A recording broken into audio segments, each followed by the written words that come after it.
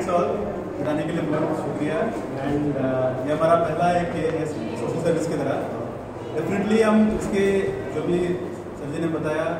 हम और भी थोड़ा इस तरह के का कार्यक्रम लागू करेंगे सबका सहाय चाहिए we need help and thanks for support for हुई थैंक यू सुपर